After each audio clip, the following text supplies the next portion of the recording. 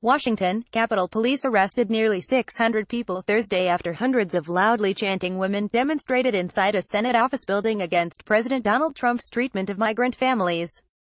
Among them were a Washington state congresswoman, the lawmaker said on Twitter. The protests came as demonstrations occurred around the country over the Trump administration's policy of separating immigrant families.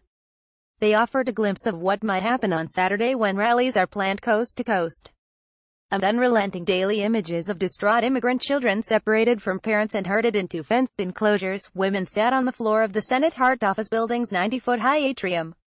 Seated around Alexander Calder's black metallic mountain and clouds sculpture, they shouted slogans and cheered for a handful of fist-pumping lawmakers, all Democrats, who waded into the crowd.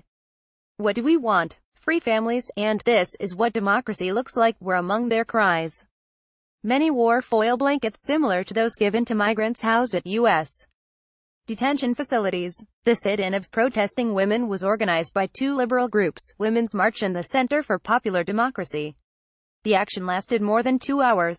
In a written statement, the Capitol Police said around 575 people were charged with unlawfully demonstrating inside the office building. The police said those arrested were being released after they were processed. Winnie Wong, political advisor for the Women's March, said the crowd's fervor will translate into the energy we will need to see to at the ballot box in November, when congressional control will be at stake. Representative Pramila Jayapal. Wash, said she was arrested during the protest. Jayapal, who was born in India, tweeted a video of herself in which she said she was proud to be arrested to protest Trump's zero-tolerance policy. We're here to fight for our families to be free, to fight for the ability of our kids to be with their parents, not in cages, not in prison, but able to live their lives free, safe and secure. Jayapal said. Democratic Sens. Jeff Merkley of Oregon, Kirsten Gillibrand of New York and Edward Markey of Massachusetts also appeared before the crowd. These folks are out here fighting for the core principles of our nation, and I applaud them for it, Merkley said in an interview.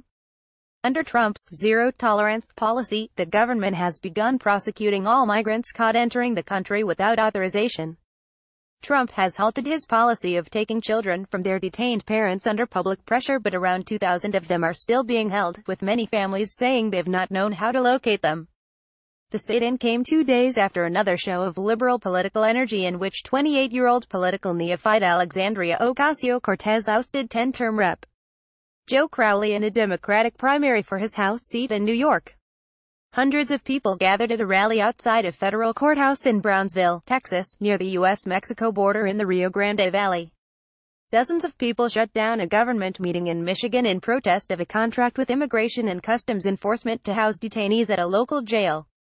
And eight people were arrested outside an ICE building in Portland, Oregon, that has been closed because of a round-the-clock demonstration.